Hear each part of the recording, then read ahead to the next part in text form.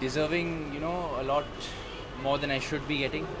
Uh, बहुत ही शुक्रगुजार हूँ मैं I'm very I'm very thankful, very happy. And yeah, I'm just I've just come to meet the audiences myself and ask them honestly, genuinely कि reaction क्या है. Okay reaction हाँ। यकीनन बहुत अच्छा है टाइगर बॉलीवुड की बात करी जाए चाहे मनीषा कोरेला हो चाहे फराह खान हो हाँ सबने हाँ ट्विटर का सहारा लिया you know people are saying star is हाँ जी सर हाँ जी नहीं लगता है वेरी काइंड क्योंकि मेरे पिताजी का बहुत ही अच्छा गुडविल गुडविल है इंडस्ट्री में। तो I think because of him because of the kindness for him and you know they showing me some love also I think this is being very kind and I very thankful sir my inspiration Bollywood is Hrithik sir Hrithik sir की mummy आई थी in screening के लिए and she said के you reminded me of Hrithik in Kaho Naa Pyaar Hai in some scene so you know वो वो कह रही थी कि you have that sincerity as an actor that in sense in your eyes